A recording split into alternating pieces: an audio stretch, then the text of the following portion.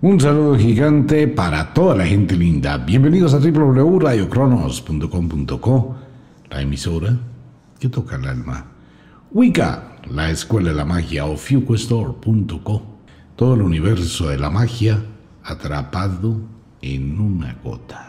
Un saludo para toda la gente linda, bienvenidos a la hora de las brujas, la medianoche. Vamos a tocar un tema que puede producir un pilín de miedo, pero vamos a hablar de ello.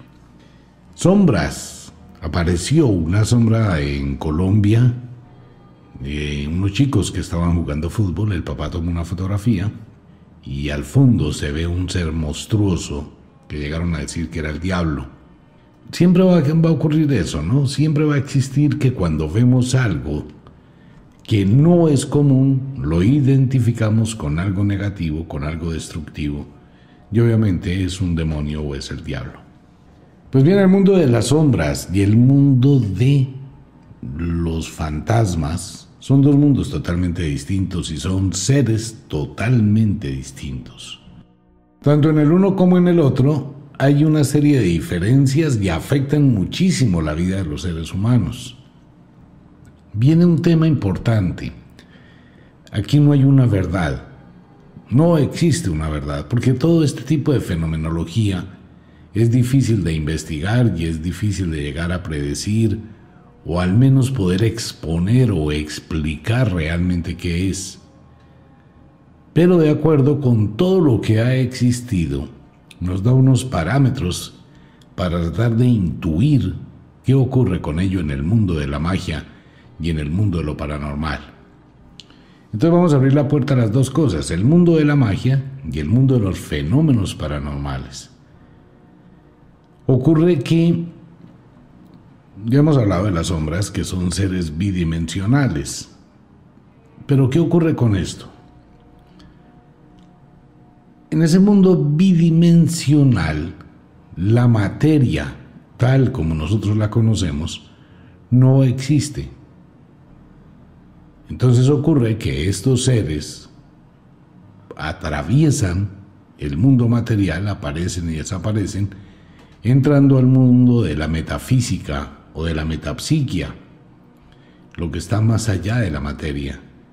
Tenemos unas concepciones muy extrañas. Nosotros consideramos el mundo de acuerdo con nuestra percepción, pero la percepción humana es muy pobre contra la cantidad de cosas que existen, pero no podemos verlas, no podemos identificarlas, no podemos reconocerlas, y en ocasiones las ignoramos.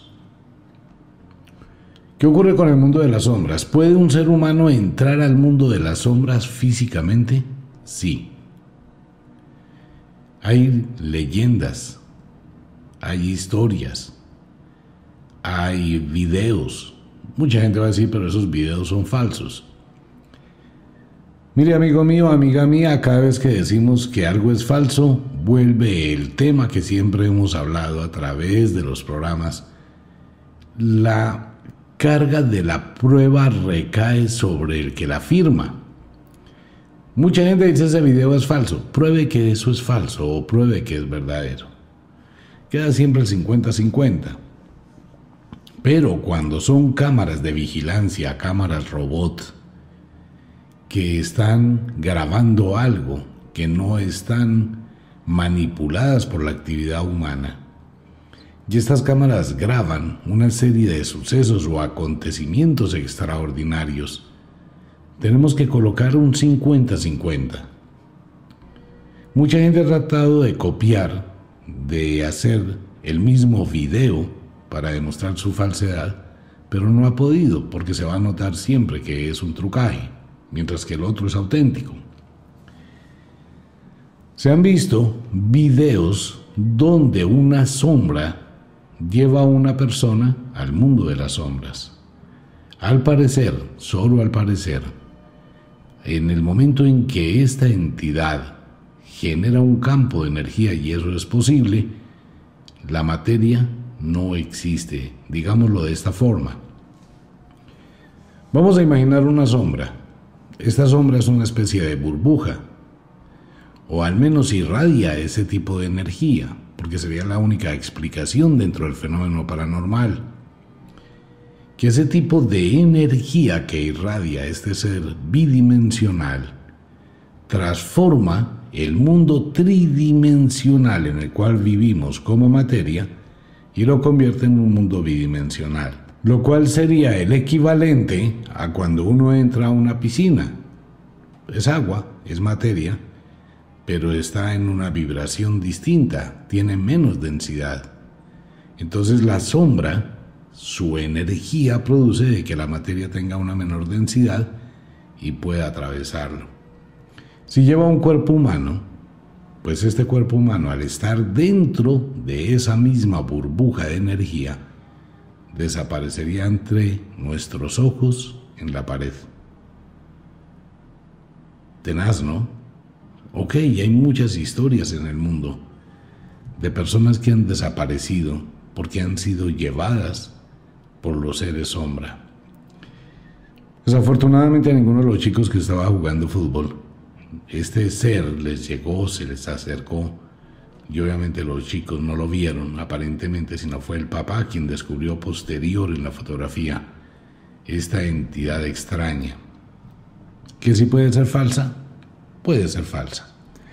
Pero que si existen los seres sombra, existen los seres sombra, no son fantasmas. Que si son mm, denominados demonios. Nuestro concepto de los demonios es un concepto netamente religioso o cristiano, el cual supone o sugiere la existencia de una serie de entidades del mundo infernal Voy a abrir un paréntesis en el tema, ¿ok? Tomando en cuenta que no existe, pero que es una relación directa con lo que sí existe. No se vaya a confundir con mis palabras.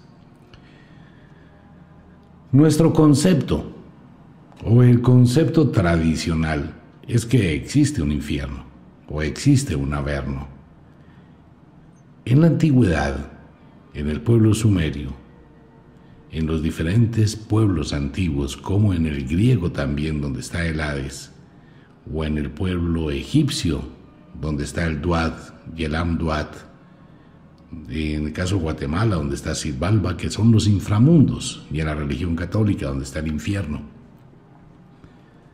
Todas estas culturas han hablado de un lugar extraño en el submundo, donde viven una serie de seres violentísimos, agresivos, que aparecen y desaparecen y que en ocasiones visitan la Tierra.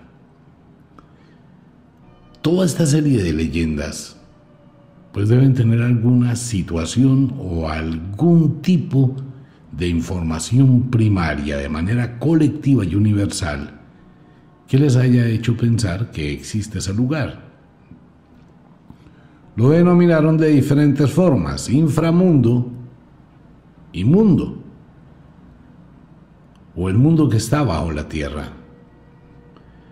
Vamos a quitarnos el concepto del infierno, vamos a quitarnos el concepto religioso de manipulación mental y vamos a utilizar un poquito más de la lógica y a suponer o a sugerir que efectivamente existe algo paralelo con nuestra existencia, que bien podría ser no el inframundo, sino un mundo paralelo, otro lugar que existe simultáneamente con nosotros, donde existen esta serie de entidades que no son muertos, que no son almas, que no son desencarnados ni espíritus, que son seres que tienen una conciencia propia y que actúan en dos planos, el plano físico como lo conocemos y el plano bidimensional.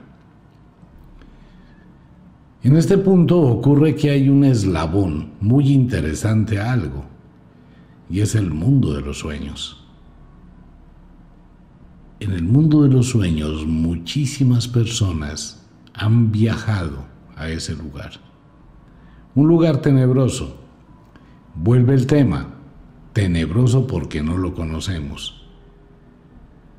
¿Qué es tenebroso? Tenebroso es todo. Si usted no lo conoce, tenebroso es una casa vacía. No importa, vaya a visitar una casa vacía de noche, un colegio, un jardín infantil, un hospital vacío,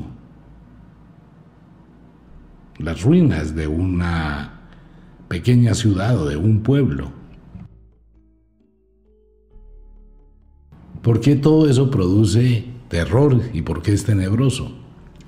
Porque hay energías indudablemente. Si estuviésemos en un bosque a la medianoche, yo ojalá que sea un bosque donde hay niebla, el bosque de día puede ser un lugar encantado, hermosísimo. Pero si usted está de noche y no está acostumbrado a los ruidos del bosque, al olor característico del bosque, a la penumbra, a las formas fantasmales que dan los árboles en las sombras. Usted no está acostumbrado a eso, entonces le va a dar terror y considera que ha sido una experiencia tenebrosa. Pero ocurre que en los sueños se puede viajar a un mundo que realmente es tenebroso, porque es un mundo medio visible, medio invisible, donde no se ve pero se intuye. Ese es el mundo de las sombras. ¿Qué hay en ese mundo? Nadie lo sabe. Es muy difícil, porque la gente que ha ido a ese lugar simplemente nunca ha retornado. De pronto ahora no existe tanto ese problema como cuando existía en los años 1600, 1700, 1800 y muy recientemente, donde las mamás se preocupaban porque el niño que estaba en la cuna aparecía en otro lugar de la casa. Mucha gente decía que eran duendes. Ok, perfecto. Pero cuando los niños se desaparecían de la casa, alguien diría, bueno, se los robó una bruja. ¿Cuál es el concepto de se los robó una bruja? Antiguamente se desaparecían muchos niños. Probablemente los robaba alguna persona humana y el comentario era que se los robó una bruja o probablemente una sombra se los llevaba. No hay una forma de saberlo. No podemos llegar a decir sí o a decir no frente al acontecimiento. Hay muchas leyendas.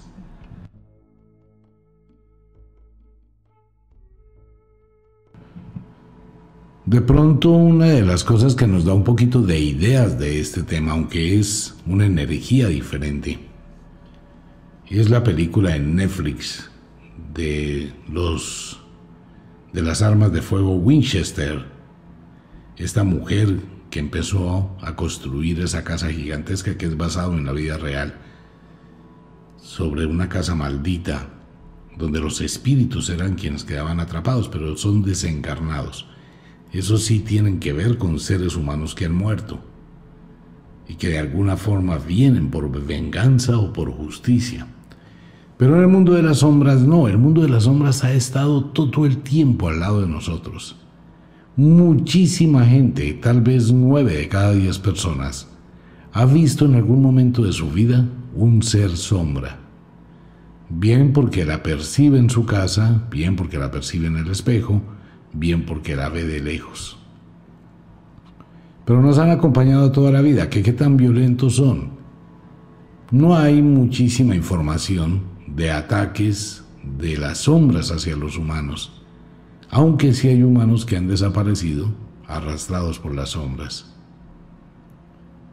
Muchísimas leyendas antiguas, gente que habla, gente que cuenta en el campo, que la niña que iba caminando y de pronto una sombra la atrapó, estas sombras tienen una cualidad que es muy interesante. La obscuridad que poseen es una negrura totalmente distinta al color negro. Es un abismo, es algo muy profundo lo que ellos son. El solo ver esa negrura tan violenta hace que uno sienta prevención. Entonces, estos seres que no tienen una, digamos, unas características específicas porque son sombras, pueden tomar la forma que quieran, no tienen que tener una forma humana. Pueden tener una forma de alimañas gigantescas, pueden tener la forma de un árbol, puede tener la forma de un animal, puede tener la forma de un monstruo, ser algo sin forma. Pueden ser muchas cosas, puede ser una esfera negra. Hay mucha gente que la ha visto y hay mucha gente que las ha filmado y les ha tomado fotografías. Que de pronto usted está mirando y ve una esfera negra, totalmente negra, como si fuese un foso negro, que sale de la pared, sale flotando y atraviesa la habitación y se pierde en la otra pared. Es otro mundo paralelo. Quizá algún día la ciencia pueda empezar a captar ese tipo de energía o esas aperturas de energía que produce cuando estas entidades salen y entran. No, las esferas que se han visto y las formas eh, blancas que se ven como gasas, como orbs, identifican otro tipo de entidades. No vamos a hablar aquí de buenas o malas, porque forman un grupo de muchísimas cosas que el ser humano desconoce. Existen miles y miles y miles y miles de vibraciones y de dimensiones espaciales, y cada una de ellas es con una cantidad de seres totalmente increíbles que pueden interactuar con nosotros. Aunque ese interactuar es entre comillas. Lo más posible es que ellos actúen sobre el ser humano, pero el ser humano no tiene poder de actuar sobre ellos, ni interactuar con ellos. Algunos son altísimamente violentos. Si esto empezó a pasar en la antigüedad, donde la gente vivía en el campo abierto, vivía en los bosques, vivía en cabañas, y empezaron a observar este tipo de entidades en esa primaria cultura, pues la gente que estaría suponiendo que eran entidades de dónde? Eran entidades malignas, malas, que debían venir de algún lugar escabroso y tenebroso. Eso pudo dar vida al inframundo en las diferentes culturas. Experiencias de personas que vieron algo, que sintieron algo, que apreciaron algo. Esas vivencias en la antigüedad se convirtieron en ese inframundo porque era la única forma de explicarlo. Entonces sirvió de alimento para crear esas historias del infierno o del averno y de los demonios pero fue algún tipo de evento que ocurrió, pero no fue un evento aislado, porque eso debió ocurrir en todas las culturas, porque todas las culturas hacen relación directa con los inframundos. Más adelante las brujas, ya en el mundo de la brujería, empezaron a identificar que con determinados momentos de acuerdo con la posición de la Tierra, de acuerdo con las fases de la Luna y de acuerdo con los eventos, este tipo de entidades comenzaban a aparecer antes de las tragedias. Ya en nuestra era reciente se comenzó a hablar del hombre polilla, un hombre extraño, alado, que aparece antes de los desastres, que también forma parte del mundo de las sombras, el hombre polilla. Se le ha tomado fotografías tres veces, básicamente. ¿Qué es? ¿De dónde viene? ¿Por qué existe? No lo podemos saber, al menos no en este momento. Quizá más adelante exista la posibilidad de descubrir los secretos que se ocultan detrás de esta fenomenología.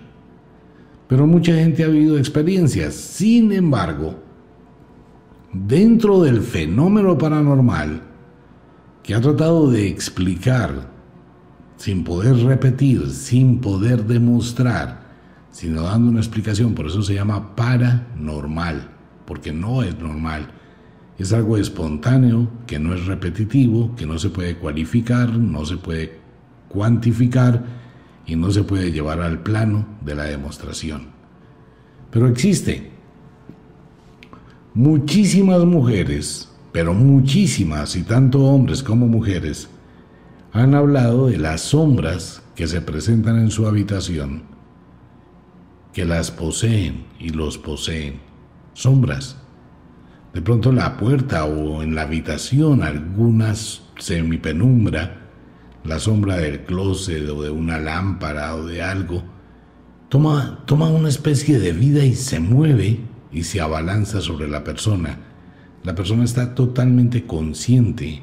De pronto siente cómo esa sombra se posa sobre la persona y esta persona queda totalmente inmóvil.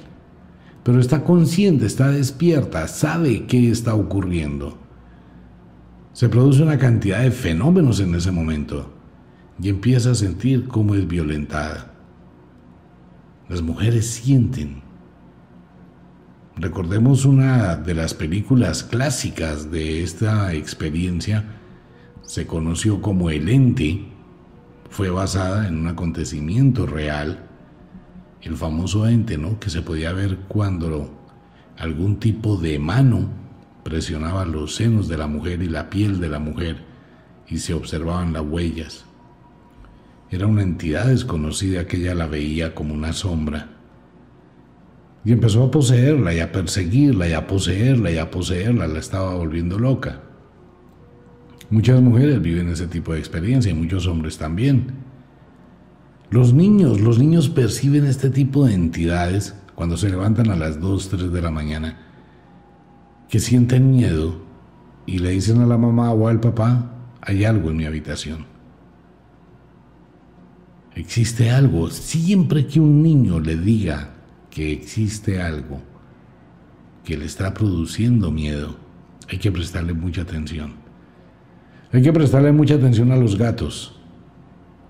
Si usted se ha dado cuenta, cuando un gato se asusta, lo que hace el gato es saltar, alejarse de lo que le produce peligro. Usted lo puede hacer con cualquier gato, colocarle cualquier objeto detrás del gato sin que se dé cuenta y el gato cuando se da cuenta que hay algo ahí se asusta y salta. Es diferente esa señal del gato de huir a lo desconocido a cuando el gato se encrespa, mira fijamente a la pared y parece que fuera a atacar. Y el gato se, se eriza. Probablemente esa sea una de las razones por las cuales las brujas les gustaba mantener gatos a su alrededor para identificar determinadas energías cuando se presentan. El gato actúa de una forma diferente y se queda mirando fijamente la pared. Uno que ve, uno no ve nada, pero sabe que el gato está viendo algo. O el perro que se queda mirando fijamente la, pared y ladra, no ladra como cuando llega una persona a la casa. No, su ladrido es diferente. El perro está asustado. De pronto da la vuelta, vuelve al mismo sitio, vuelve y se va, vuelve al mismo sitio, está percibiendo algo. Puede ser una sombra, un espíritu, un desencarnado, puede ser otro tipo de entidades, pueden ser un millón de cosas. No las vemos. Presentimos que están ahí. Percibimos que están ahí. Las sombras son un peligro. Nadie puede llegar a decir cuál es el alcance de este tipo de energías, hasta dónde pueden llegar a afectar la vida.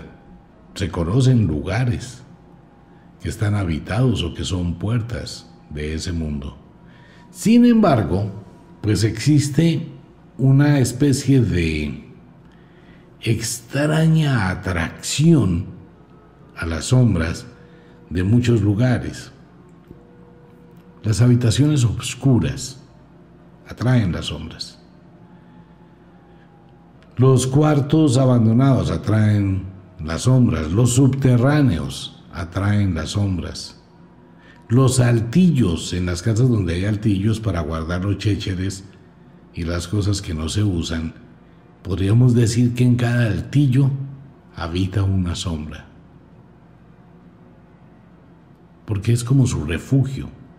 Entonces esto nos podría llevar a pensar que esas sombras habitan este mundo, igual que nosotros, solo que están en otra dimensión, no las vemos, pero también están ahí. Y de ahí para adelante, amigo mío, lo demás simplemente sería imaginación, tratar de definir hasta dónde estas sombras actúan. Sin embargo, hay comentarios de suicidas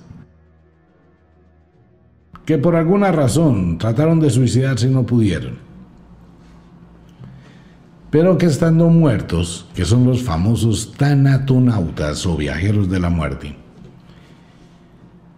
estando muertos ellos narran, como en la película de Ghost, el fantasma del amor, que cuando ellos estaban ahí veían muchas sombras que querían atraparlos. Muchísimas sombras que era tenebroso el espectáculo que estaban viendo hasta que vuelven a la vida.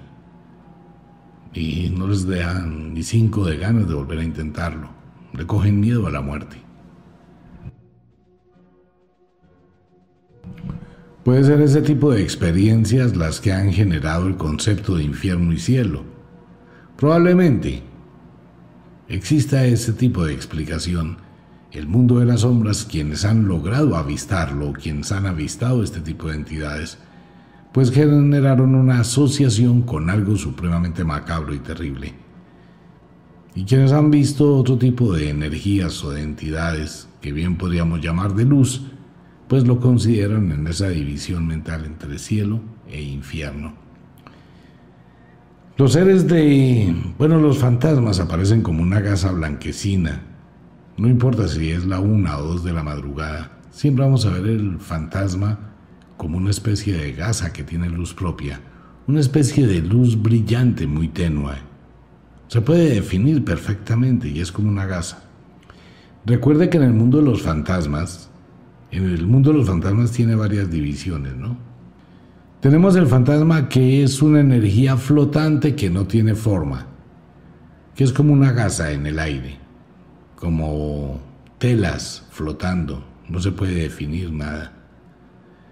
Tenemos el otro fantasma que es transparente, pero con la imagen de un ser humano, que se ve como medio invisible. Ese es otro fantasma. Tenemos la presencia fantasmal, que es el peor de los fantasmas, porque usted no puede diferenciar entre un ser vivo y el fantasma. Es como si estuviera ahí, es una persona física, es una persona que usted puede ver físicamente, que eh, haga de cuenta que está mirando a esa persona. Hace muchos, pero muchos años, cuando hacía un programa en el canal RCN, en la torre de RCN, allá en la calle 39 en Colombia. Estábamos en una noche con todo el grupo de trabajo en Nocturna RCN. Estábamos hablando de estos temas del mundo misterioso con Eduardo Lozano, un excelente periodista, a quien envío muchísimos saludos. Hacemos el programa. Ese día estaba lloviendo muchísimo. Y tal vez hacia la una, dos de la mañana, cuando estábamos haciendo Nocturna RCN, llegó el conductor del radioguía de RCN. Y en un pequeño break, el conductor estaba supremamente en shock, supremamente asustado, estaba supremamente nervioso. Entonces nos dijo que si podía hacernos una pregunta. Pues nosotros obviamente que sí. Empezó a contarnos que esa noche, tipo diez y media, once de la noche, vio una niña de colegio caminando bajo la lluvia y que él se compadeció y le dijo pues que la llevaba hasta la casa.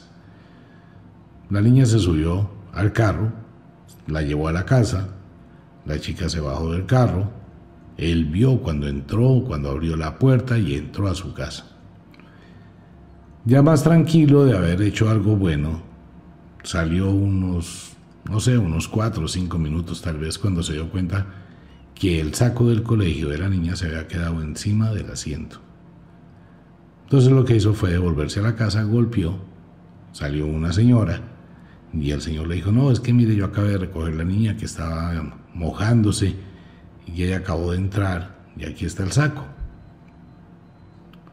La señora recibió el saco y se puso a llorar. Y le dijo al señor que en esa misma fecha Hacía cinco años su hija había muerto saliendo del colegio. Entonces vienen muchas preguntas. ¿El que vio? Vio una aparición. Ok, ¿cómo diablos se materializó el saco. ¿De dónde? ¿Cómo es posible que eso haya ocurrido? ¿Qué elementos pueden llegar a justificar eso? Nadie lo sabe. ¿Eso podría llevar a que todo eso fue mentira? Probablemente, pero no tendría por qué mentir.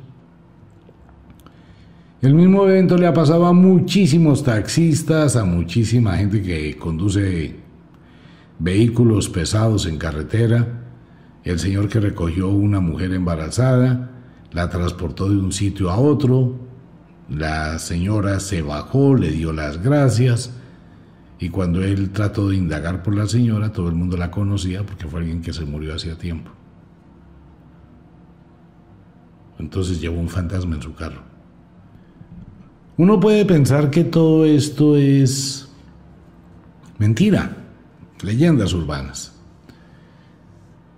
Pero ocurre que en el año 1328-29, más o menos, o un poquito más, ocurrió un evento muy extraño, supremamente extraño. El gran poeta Dante Alighieri escribió tres libros que se conocen como la Divina Comedia, Infierno, Purgatorio y Paraíso. Ocurre que solamente existía infierno y paraíso, y la parte de purgatorio no aparecía por ningún lado. Ya había pasado muchos años y la gente buscaba, tratando de encontrar.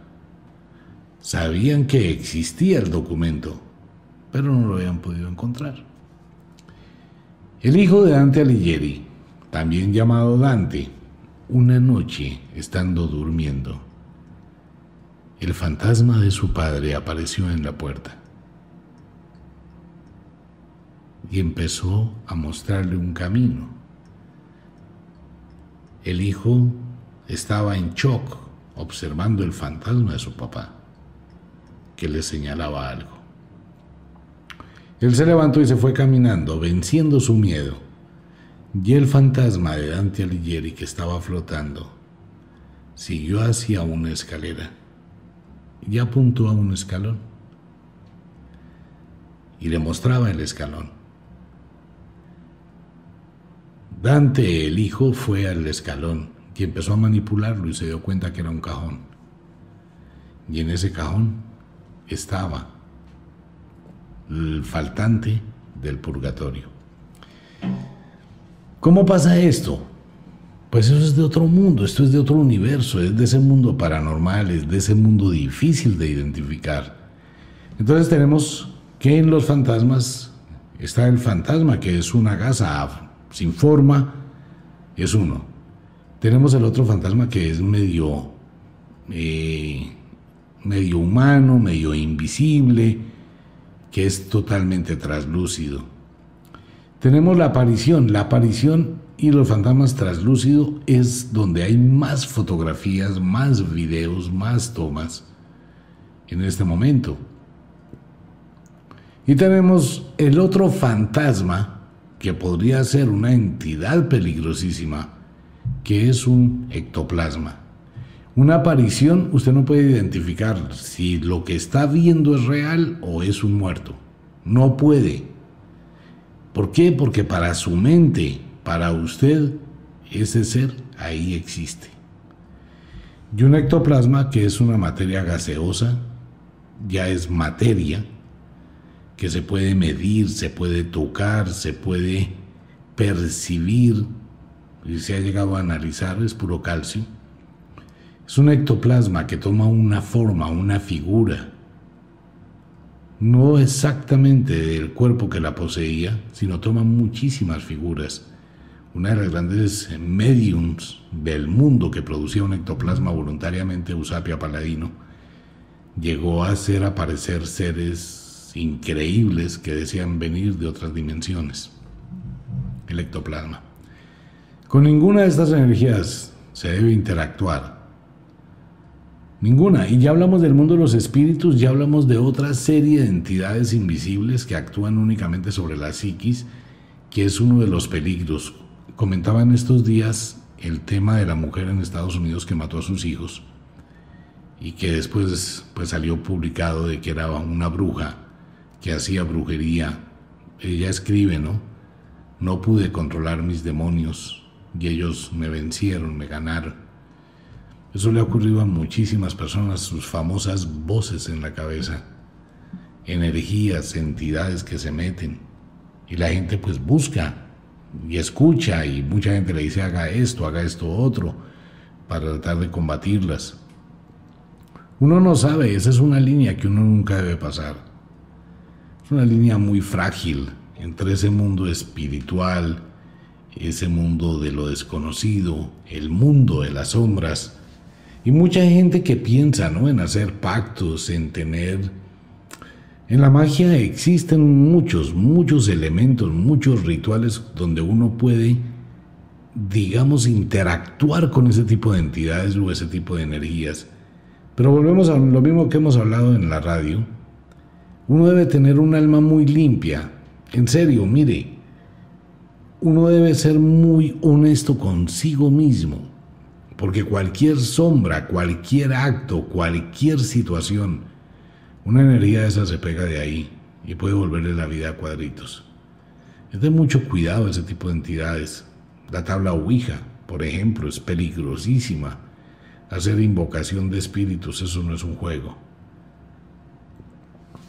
Aclaro, de estas entidades, puedo hacer invocación de los espíritus de la naturaleza, todos, fuego, tierra, aire y agua. Este es un gran momento para hacerlo cuando llega el Involg y nos vamos preparando para los rituales del Beltane, el momento de la iniciación donde me unifico con los espíritus de la naturaleza. Son espíritus diferentes,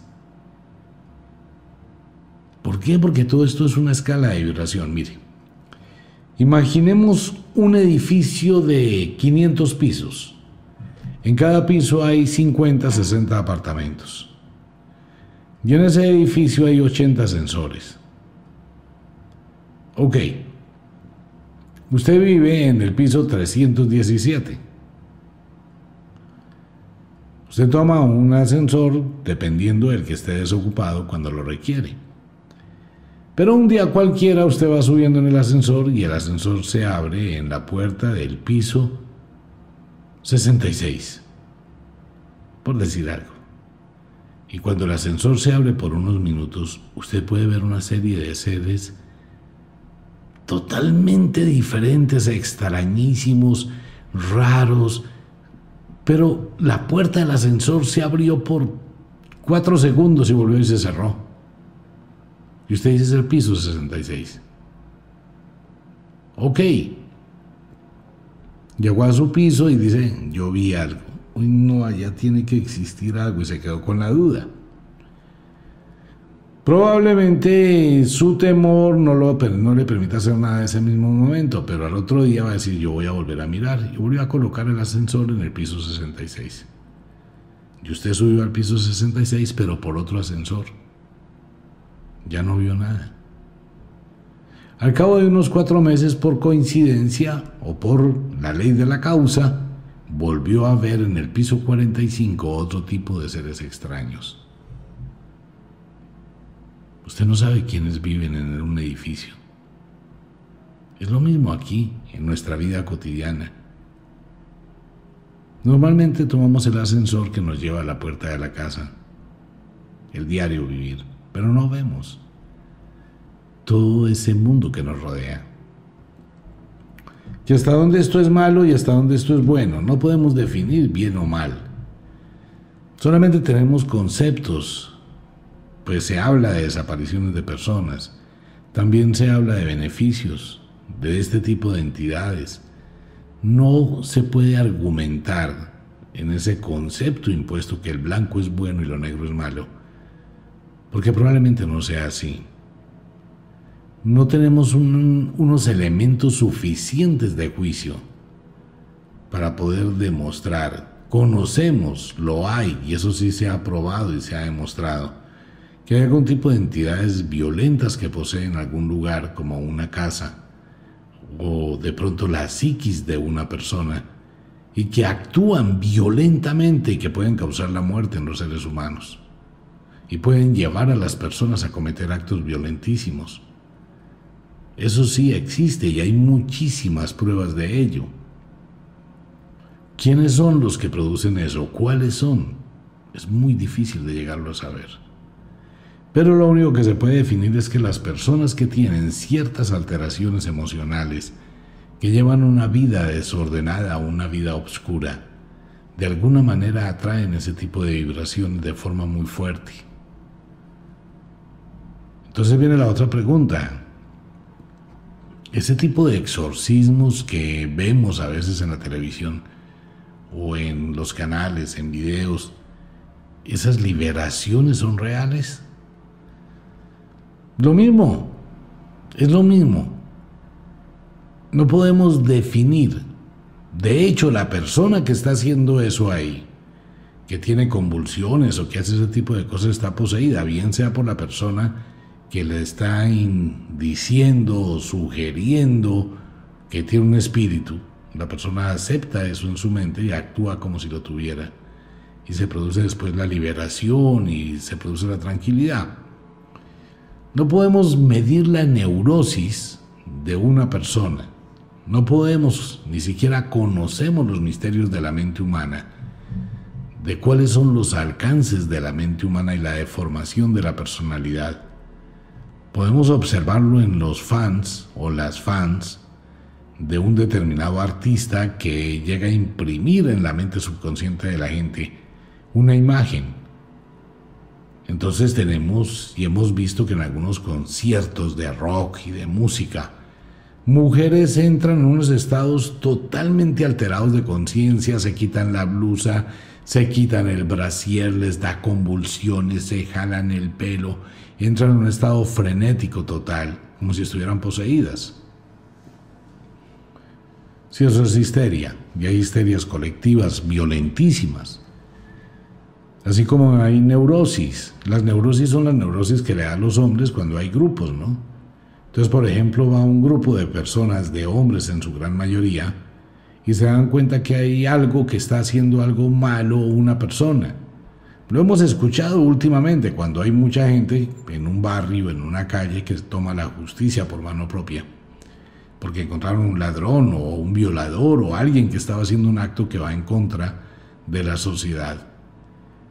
En ese momento no hay un líder de grupo, no existe un líder, no hay alguien que diga a esto, que los guíe, no, todos actúan poseídos. En ese momento ese grupo, 20, 30, 40, 50 personas, actúan simultáneamente. Algo se dispara en ellos, ese espíritu de violencia, se dispara en ellos y quedan como poseídos. Y van y castigan a esa persona a la cual consideraron que estaba haciendo algo mal. Y muchas de esas personas después dicen, venga, no sé qué me pasó. Me nublé, no era yo pero eso legalmente no es aceptado. Hay muchísima gente que está privada de la libertad. ¿Qué dice? Sí, yo maté a esa persona. Fue mi cuerpo, fueron mis manos, más no mi mente. Algo dentro de mí. Por eso hay que prestarle atención a ello y por eso es que hablábamos en la radio el día anterior que bueno, hay mucha gente que conoce ya de magia y que podría bien ayudar a otros. Vale la pena que lo intente. Vale la pena ayudar a otros. De verdad, mire. el mundo necesita hoy gente que pueda escuchar. A propósito de ello, Wicca necesita personas que quieran trabajar con nosotros. En redes sociales, en asesoría, en ventas, tenemos un cúmulo de correos para contestarle a las personas la cosa más tenaz eh, muchas inquietudes de todo esto, personas que necesitan y que ingresan a nuestras redes sociales, necesitamos unas personas que le pongan ganas a la vida, obviamente con un excelente salario, que quieran que les llame la atención, que quieran colaborarle a Wicca, es más una cuestión de apoyo, de apoyo entre todos, ¿no? Entonces van a tener pues muchos beneficios, pero no es para muchas personas, no, no es para mucha gente. Es un grupo de personas muy pequeñito. Entonces los invito, quienes quieran pueden escribir a contabilidadwicca.radiocronos.com. Ese es el correo electrónico, enviar su hoja de vida allí. contabilidadwicca.radiocronos.com. Los que quieran. Aquí sí es los y las. Aquí no hay ya la división de si solo niñas, no en este momento. Eh, el que quiera, hombre o mujer o lo que sea, pero que quiera y que tenga, asociado un solo requisito importantísimo y es que debe escuchar el programa por lo menos haberlo escuchado cinco años atrás. ¿Por qué? Porque le vamos a contestar a mucha gente que pide información, que pide cosas. Debe haber escuchado el programa. Contabilidad Wicca arroba radiocronos.com. Los que quieran pueden mandar su hoja de vida. Bien, lo otro, para todos los oyentes, venga, a todos mis amigos, les recomiendo este aceite especial. Este es un aceite de brujas. Es un aceite muy especial que tiene que ver con la atracción. Los unicornios se han considerado en la mente humana como un deseo casi imposible de alcanzar. Este es un aceite mágico que le puede ayudar muchísimo durante toda esta temporada a encontrar el sendero para materializar algo que realmente usted desee.